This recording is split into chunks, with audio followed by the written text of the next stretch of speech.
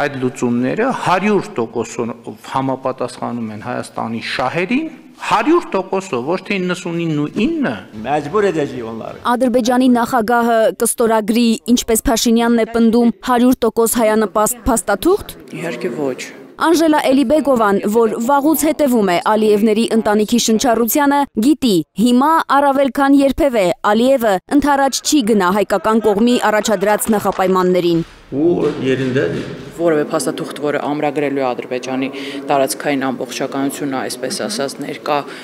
օկուպացված տարածքներն էլ հետ Ադրբեջանի կողմից, այս համար ընդունելի չի կարող լինել։ Իսկ հայկական կողմի նախապայմանը հետևյալն է. մինչև Բաքուն չկատարի նոյեմբերի 9-ի հայտարարությամբ ամրագրված պայմանավորվածությունները չվերադարձնի գերիներին, ոչ մի սահմանազատման ու սահմանագծման հարց չի քննարկվի։ Համենայն դեպս Հայաստանի դիվանագիտական գլխավոր կառույցը այդպես է մտածում։ Իսկ ինչ է ասում Փաշինյանը։ Այն պայմաններում ինչ որ խոսել ենք, այո, ես այդ թուղթը ստորագրելու եմ։ Մի չքննարկված գաղտնի փաստաթղթի վրա դրված ստորագրությունը կարող է ամբողջովին Հայաստանից փոկել Արցախի այն փոքրիկ կտորը, որ մնացել է պատերազմից հետո։ Եթե մենք չկարողանանք Արցախի վերջին այդ մնացորդը պահել, մենք նշանակում է, որ մնացած Հայաստանը ավելի արագ կկորցնենք։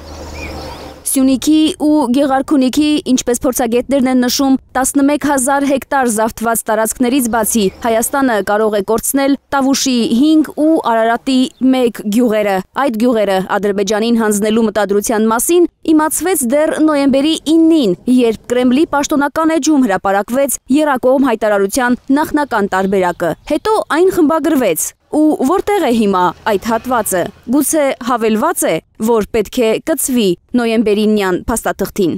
Ասում են ինչի է վերևը գրած բան, приложение, հավելված։ Ըստ ամենայնի կամ վրիպակա կամ պետք է լինել պրոյեկտ գրածա приложение։ Կամ էլ կամ էլ դա առաջարկ կա դիտարկել որպես նոյեմբերի 9-ի հայտարարության հավելված։ Տավուշի 5 գյուղերն ու Արարատի Տիգրանաշենը հանձնելով Հայաստանը բոլոր կողմերից կհայտնվի թուրքական օղակում։ Եթե մենք հետ ենք վերադառնում սովետական վարչական սահմաններին, ապա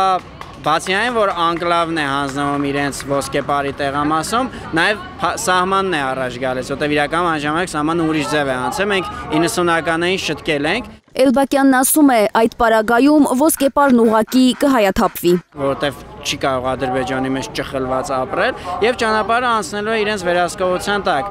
Խորհրդային միության քարտեզներով Տիգրանաշենի, Քյարքիի կողմից էլ ամենակիչը մի ճանապարհ պետք է տանք Ադրբեջանին։ Իսկ գաղտնազերծված նոր փաստաթղթում փորձագետը նկատել է, որ Ադրբեջանը ավելի հեռու գնացող նպատակներ է դրել։ Գաղտնազերծված հատվածում գրած է, որ աշխարհագրական նպատակարարությունն է հաշվի առնվելու,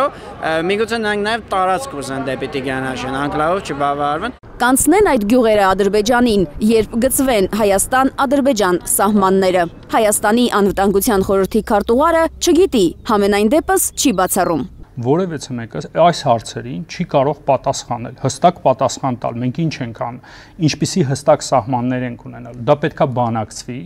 10 օրից པարզ կլինի։ Ասում են, գաղտնազերծված փաստաթղթի ստորագրման վերջնաժամկետը մայիսի 31-ն է։ Թերեզա Կադաևչյան, Աշոտ Մնոյան, Նորայ Շարբաթյան, Հայլուր։